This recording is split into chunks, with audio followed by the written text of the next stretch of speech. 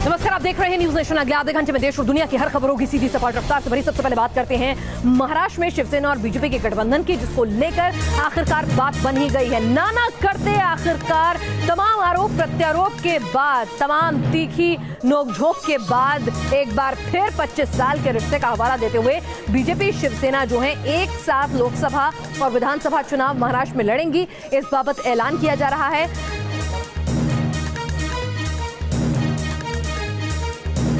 किंवा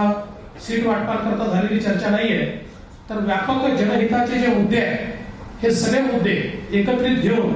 आणि या ठिकाणी आम्ही एकत्रित येण्याचा निर्णय घेतलेला आहे. आणि पुन्हा एकदा या देशाचे पंतप्रधान आदरणीय मोदीजी यांच्या नेतृत्वाखाली ज्या प्रकारे एनडीएच्या सरकारनं गेले पाच वर्ष काम केलं आहे त्याच प्रकारे पुढच्या पाच वर्षात देखील हे एनडीएचं सरकार माननीय मोदीजींच्या नेतृत्वाखाली या ठिकाणी यावं आणि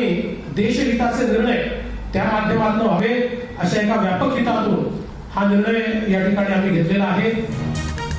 चलिए इस बीच एक बार फिर से आपको बता दें कि लोकसभा विधानसभा चुनाव में साथ लड़ेंगी शिवसेना और बीजेपी, जिस तरह से शिवसेना लगातार तल्ख हो रही थी, प्रधानमंत्री तक पर सवाल उठा रही थी राम मंदिर के मुद्दे को लेकर, जिस तरह से लगातार मौजूदा सरकार पर निशाना साधा जा रहा था, सरकार की नीतियों का लगातार शिवसेना विरोध कर रही थी तो लग रहा था शायद इस बार गठबंधन खटाई में पड़ सकता है, लेकिन अब साफ़ हो गया है कि दोनों साथ मिलकर लड़ेंगे।